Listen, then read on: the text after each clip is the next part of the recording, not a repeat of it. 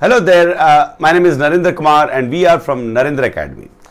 And in the last class we understood the profound point that the average kinetic energy of the particles or the molecules inside a substance, inside a substance is a measure of temperature.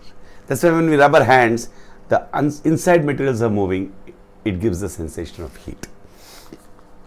Now we'll do activity 4 uh, page number 4 in this wonderful textbook uh, which is physics through activities. Physics made simple. Take water in a container. I think if i make a diagram it will be very nice. Uh, the same diagram which is there in the book. So take water in a container. So you have a container like this. Okay and what do we take in this? We take water. So um, it's like a 3d effect.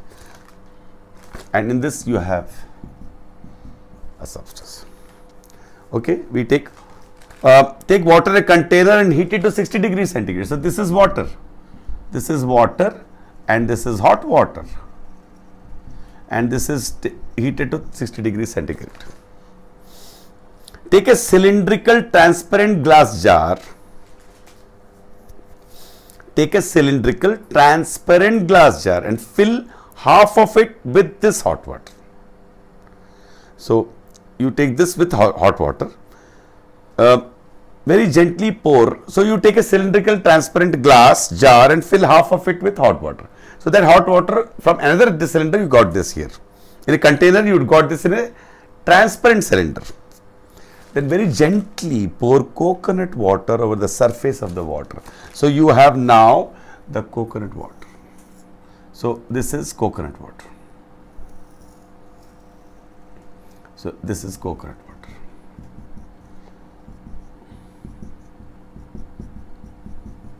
So, this is coconut water. So, this is coconut water, coconut water.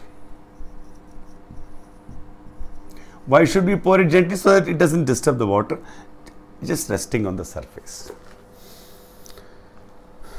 Take care that the water and oil do not mix by the force, do not mix. Actually, it won't mix, but if you force it, then it will just a little mix put a lid with two holes on the top of the glass jar. So, you put a lid, you cover this, you cover this and and you put a you put a lid and with two holes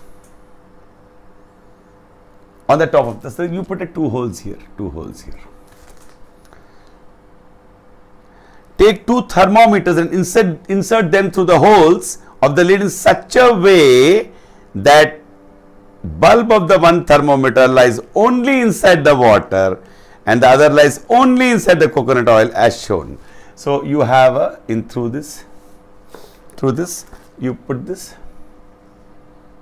thermometer and other thermometer you only in water, only in water. So, this is fully is coconut oil.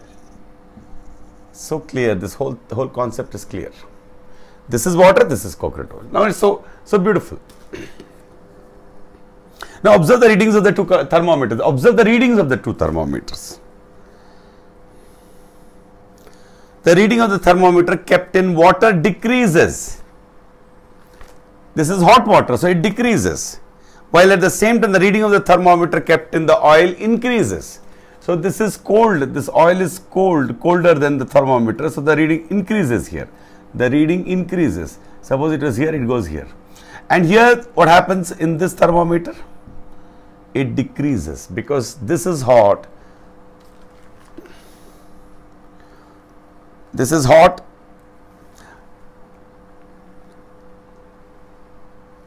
The reading of the uh, in this oil increases and the reading of the thermometer kept in the water decreases.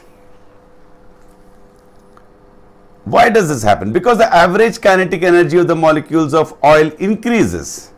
Why does this happen? Because the average kinetic energy of the molecules of oil increases. While the average kinetic energy of the molecules of water decreases.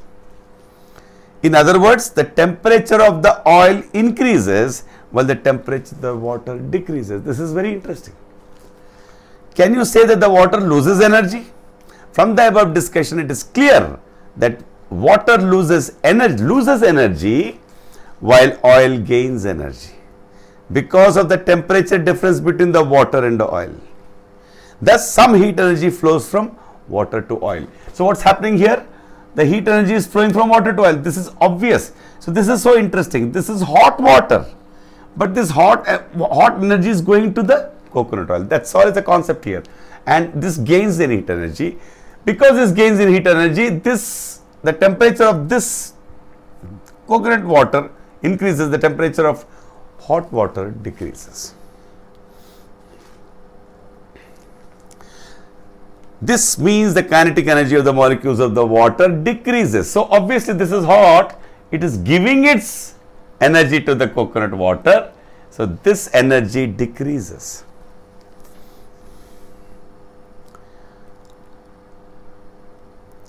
Thus, some heat energy flows from water to oil.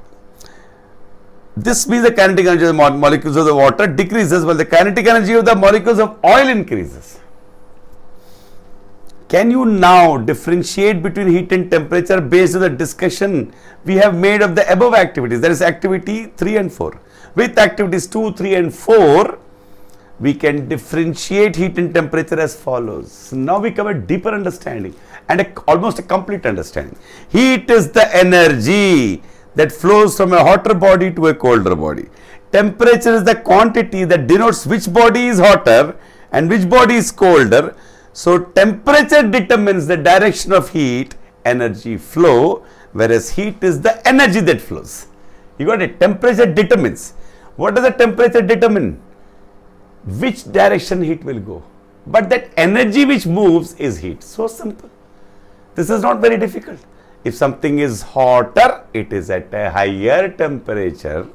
If something is colder, it is at a lower temperature. The heat energy flows from the body at a higher temperature to a body at a lower temperature. Okay. So, that is the, the what is flowing, the energy that is flowing is heat. That, that which determines the direction of the flow is temperature. That's all. So, that completes activity 4. My name is Narendra Kumar and we'll meet in the next section with a lovely concept called specific heat.